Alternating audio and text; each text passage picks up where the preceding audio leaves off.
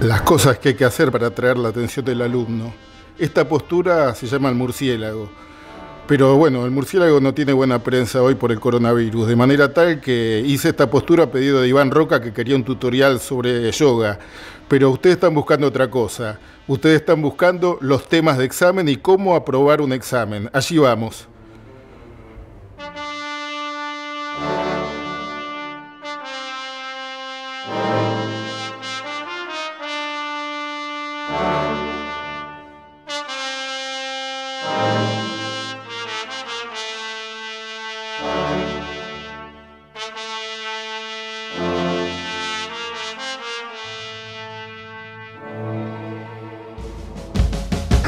Esta postura se llama el árbol y nos ayuda a compensar todo el tiempo que pasamos frente a una computadora estudiando.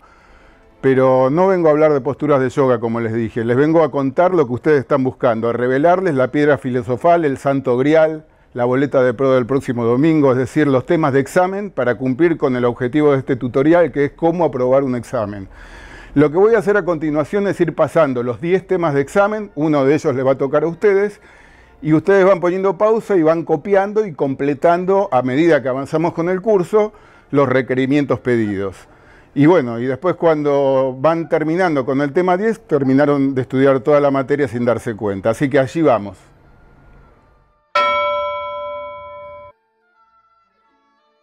Bueno, cada tema de examen consta de una hoja que le llamamos acá A4 o carta de 20 por 28 centímetros, frente y dorso, donde cada pregunta tiene un campo determinado para completar, es decir, ustedes no se pueden exceder contándome el partido de Boca River en 10 páginas, no, tienen ese campo estricto para que ustedes puedan eh, ejercer el poder de síntesis.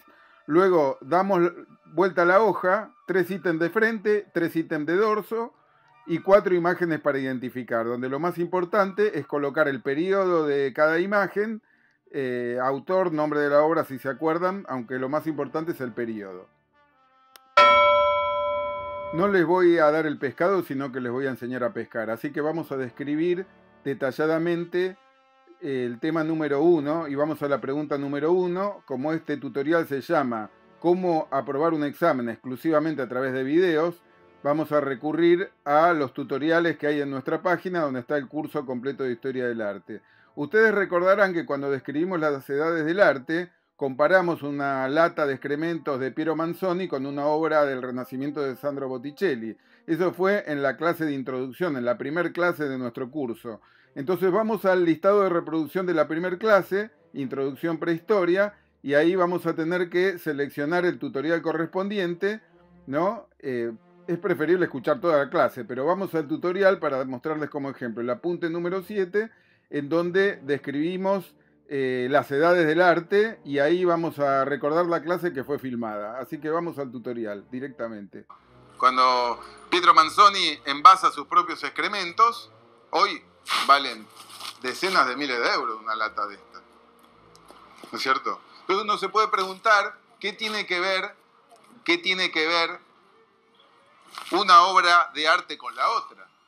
Muchos consideran que obra de arte es la de la izquierda y otros consideran que obra de arte también puede ser la imagen de la derecha. Entonces, muchos han cuestionado y se cuestionan esta, eh, eh, esta situación, esta, ¿a qué llamamos arte? Si es sinónimo de belleza o no.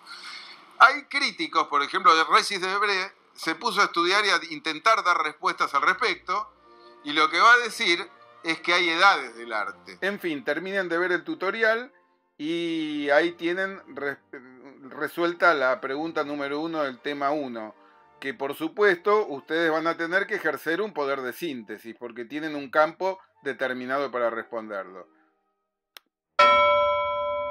Vamos a la pregunta número 2 del tema 1, periodos de la escultura griega, una pregunta que en cualquier universidad del mundo se la van a hacer. Entonces, ¿qué hacemos? Vamos a nuestro canal de YouTube a la clase número 3 de Grecia a encontrar el tutorial correspondiente a los periodos de la escultura griega.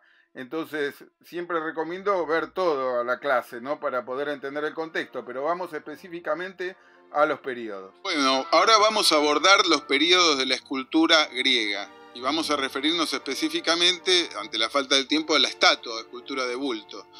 Entreténganse escuchando el resto del tutorial y ya tienen la respuesta a la pregunta número 2 del tema 1. La pregunta 3 del tema 1 es fascinante, arquitectura del Renacimiento que tanto influyó en la historia de Occidente posterior e incluso en muchas de nuestras ciudades actuales. Pero bueno, no estoy acá para dar la clase, sino para explicarles cómo usar eh, los tutoriales para aprobar el examen. Vamos a la clase específica de Renacimiento.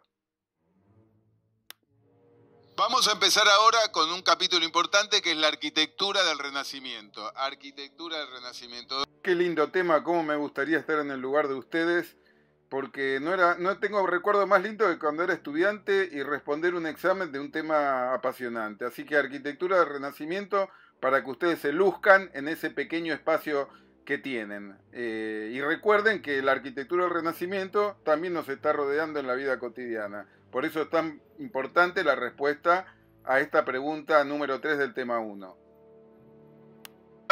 Damos vuelta a la hoja y nos encontramos con un tema apasionante, escultura romana.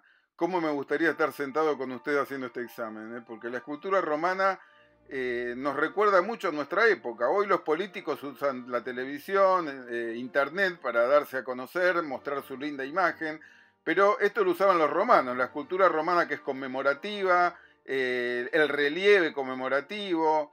Ustedes recordarán tantos temas interesantes. Entonces nos vamos a la clase número 4 de nuestro canal de YouTube a estudiar eh, la escultura romana y todo su impacto hasta la actualidad. Escuchemos un fragmentito de tutorial. Escultura romana. Vamos a ver dos formatos que ustedes están acostumbrados a escuchar.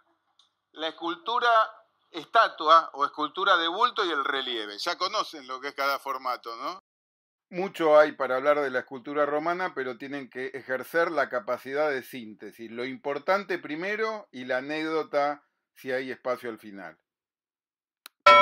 Otra gran pregunta, ¿en qué se diferencia la arquitectura gótica de neogótica? Ustedes saben que una cosa es la Edad Media y otra el siglo XIX y XX, de manera tal que tienen mucho para investigar en el canal específicamente eh, tutoriales que corresponden a Edad Media, siglo XIX, y también otros tutoriales muy interesantes, desde alumnos nuestros que dieron excelentes exámenes finales hablando del neogótico, como el de Emiliano Gioia, que ahora le seleccioné solamente un par de videos de nuestro canal de YouTube, pero hay muchos más. Y voy a hablar del monumento a de la tumba de Liliana Crociati de Sasak. Em, bueno, a mí yo elegí esta tumba eh, porque me pareció algo muy interesante, por dos razones. Primero que todo, porque su estilo... Investiguen que hay una conferencia que di en la Catedral de La Plata también, ¿no? Donde analizamos algunos planos y hay una introducción a la arquitectura neogótica. Los dejo que ustedes mismos naveguen por el canal de YouTube y van a tener que hacer una síntesis, ¿no? Para responder a esta pregunta. No te quiero desilusionar, pero la mayoría son neogóticos, no góticos de la Edad Media. Una pregunta de elaboración personal. Seleccione un periodo de la historia del arte del cronograma y fundamente su interés personal. Entonces acá ustedes tienen que hacer una pregunta de desarrollo. Para muchos es difícil, porque hay que agudizar también el sentido crítico, analítico, ¿no? No es una pregunta que van a encontrar en un tutorial, sino que es una pregunta que van a encontrar dentro de ustedes mismos. Entonces, eh, adelante con la creatividad y con desarrollar un poco la imaginación y el sentido crítico. ¿Qué es lo que más me interesó o me interesa del programa? Y ahí puedo disfrutar respondiendo a esta pregunta en un sentido sintético, ¿no? Vamos con la identificación de imágenes. Tenemos cuatro imágenes para identificar. Bueno, la primera imagen del tema 1, ¿no? La primera imagen para identificar que está eh, resaltada en amarillo. Ustedes seguramente ya imaginarán la respuesta, bastante fácil. Van a la clase, al listado de reproducción de prehistoria e y se fijan en el tutorial correspondiente a escultura prehistórica, ¿verdad? Y ahí tienen mucho para, para investigar y la forma sintética de responder. La segunda imagen, ustedes imaginarán también que corresponde al listado de reproducción de la clase de prehistoria. Yo acá les señalé, les seleccioné un video medio tramposo, eh, prestenle atención. para identificar esta imagen. Alineamiento más importante, ustedes que son franceses, ahí, acá tenemos alumnos franceses, ¿no es cierto? ¿Dónde está? Bueno, la tercera imagen remite a un periodo de la historia del arte donde las leyes de proporción y armonía van a marcar el resto de, la historia del arte occidental. Entonces nos vamos al listado de reproducción de la clase correspondiente a Grecia y pónganse a buscar eh, ustedes mismos a qué tutorial corresponde esta imagen. Vamos con la última imagen a identificar, que corresponde a un periodo que mucha gente se equivoca con otro periodo, ¿no? Tenemos que ir a la lista de reproducción de Mesopotamia y Egipto, y siempre recuerdo cuando los alumnos me miran en clase atentamente, yo digo, ¿me mirarán como un orante sumerio, ¿no? Sin prestarme atención, en, en éxtasis, o estarán analizando críticamente lo que digo? Bueno, no lo sé, nunca lo voy a saber. Hay, un comentario de tutorial de Mesopotamia que, le gustó mucho esta humorada. Bueno, tienen para ir entonces a la clase número 2, Mesopotamia y Egipto, e investigar a, qué tutorial corresponde la resolución, la respuesta a esta imagen. Como les dije, no les iba a proporcionar el pescado, sino enseñarles a pescar. Los orienté con el tema 1, con las respuestas al tema 1. Ahora les quedan las los otros nueve temas para que ustedes mismos puedan encontrar las respuestas en los tutoriales de YouTube para que no se tengan que mover de su casa. También tienen material gráfico para leer, no en PDF. Y hay mucho material en la red para no tener que salir de su casa, pero ustedes saben que yo siempre recuerdo, para quienes escuchen este video, vean este video este, a posteriori de la cuarentena, que hay que ir a estudiar a la biblioteca porque es el ámbito propicio para el silencio, la concentración y el análisis crítico de la bibliografía. Espero que les haya servido entonces estos 10 temas que analizamos, que son eh, comunes a muchas universidades del mundo. Lo importante ahora es la autodisciplina. Todas las semanas completar por lo menos uno o dos temas, haciendo una síntesis de cada uno de los temas que estudiemos y así vamos a llegar perfectamente bien a la fecha de examen. Pero hace falta tener esa autodisciplina para seguir los tutoriales y luego de eh, haber visto todo el listado de reproducción, hacer un resumen, una síntesis e ir completando las casillas. Ustedes se enteraron de los 10 temas de examen, así que no veo por qué les vaya a tener que ir mal. Vayan completando a medida que avanza el curso los casilleros, así que cuando llega la fecha del examen usted tiene todo completo. Alguno de esos 10 temas le va a tocar. Y para los que nos ven de otros países, son modelos muy frecuentes en universidades de España, de Venezuela, de Colombia, de Ecuador, de México, ¿no? De, para nuestra asignatura. Así que les va a servir también hacer este ejercicio. Bueno, espero que les vaya muy, pero muy bien. Gracias por ayudarme a transformar como docente. Eh, yo hice una promesa, que si les va bien en el examen me afeito, así que espero que ustedes tengan éxito en este examen. Y suscríbanse, comenten, compartan, porque yo me comprometí a responder al pie de cada tutorial cualquier consulta que tengan sobre tema de examen. Así que los espero al pie de cada tutorial.